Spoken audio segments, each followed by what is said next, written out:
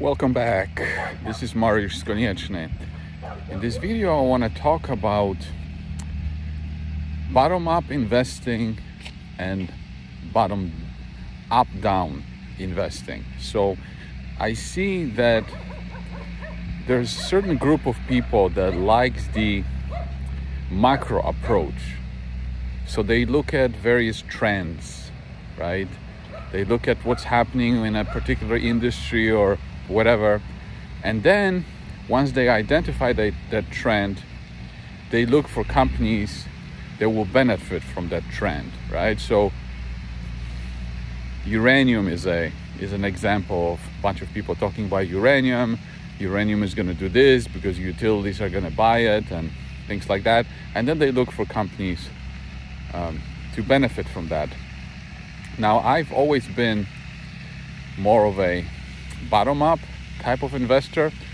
But recently, I realized that I was actually investing in in macro trend or some kind of trend because when you have a trend behind your back, it helps you. It uh, it helps your business, um, and it kind of even if you make a mistake or don't do your analysis completely, it kind of bails you out from those mistakes. But I found those trends or those winds behind your back in a, in a different way that people think of it.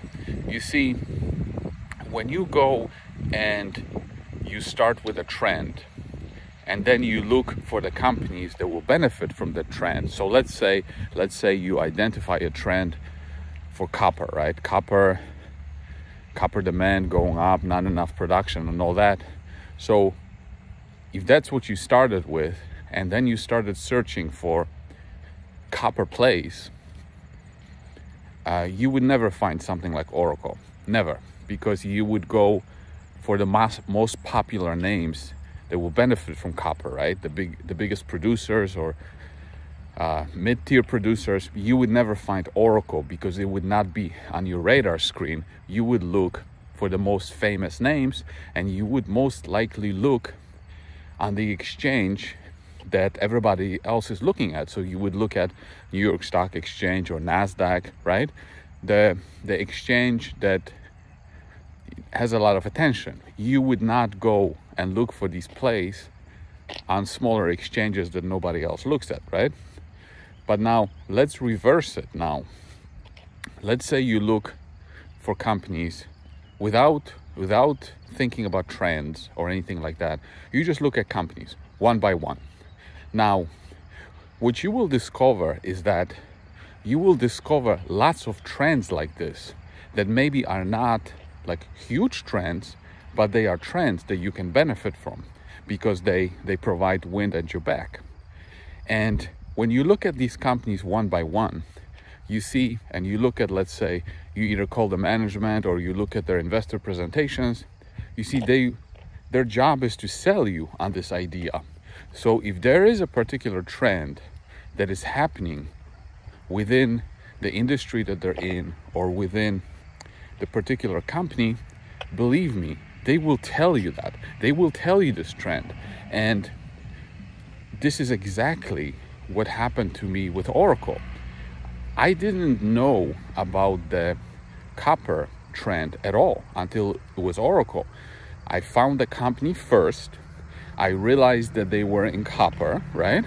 And then I started reading about copper and I realized, oh wow, this is they are on this trend. So i went from it completely dif- differently. And my my third biggest position it kind of happened like this too.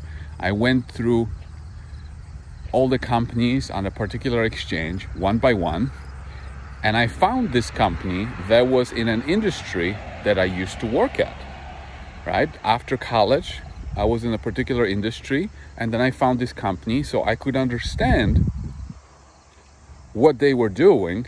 But what I realized is that there was a big change happening within the industry and I didn't even know about it even though I was in the industry years ago, I had no idea that there was a particular trend happening. So that's just another example of how just looking at individual companies, you can find these trends and you don't have to go to the newspaper or on Twitter and you know read about the things that everybody else is talking about. You can find your own little waves that can make you a lot of money and doesn't have to be a big wave or it might be a big wave down the road like what happened with copper, right? Copper used to be on page number 16 in the newspaper and now it's moving up, right? So you can find those opportunities. And recently I've been looking at a company that, you know, one by one like this. And what I noticed is that there's a particular change happening in this industry. And there's like three players in that industry, right? Three big ones, and then this small one, because I used to look at, I, I'm used to looking at small companies. But this small company, what's so unique about it is that they have this technology that they started developing five years ago. And then it came to fruition. And then that technology is so good. It's it's the best in the industry. It beats the competitors every single time. And as a result of this, they are stealing clients from the other two big companies, right? And then the trend is happening. And then the other two companies, what's so interesting about them is that they don't develop their own products because they were put together through acquisitions, okay?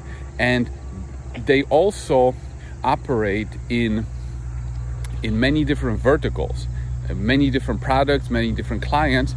And while this particular one that I looked at specializes in this one niche, so they are absolutely killing it in that niche. And the competitors can't even come close. And that's why they're losing clients. And they, they won't even be able to catch up because they don't develop their own products and they're not even paying attention that much because of the other verticals that they have. But anyway, it's just wanted to make this video to kind of make you be aware of it is that uh, looking at companies like one by one, I found that it's like the best way to find good investment opportunities, but also the ones that you can catch and they still have a trend behind them. They still have the wind behind um, their back, but those trends are not that popular. But they don't have to be popular as long as they they're there, and as long as the company is able to benefit from it you can benefit from it. So, anyway, let me know your thoughts. Uh, how are you going about uh, looking at, you know, companies, or are you are you more the type of investor that goes from the top down or bottom up? Um, do you care about trends be, being uh, behind your back? Let me know in the comments below. Thanks.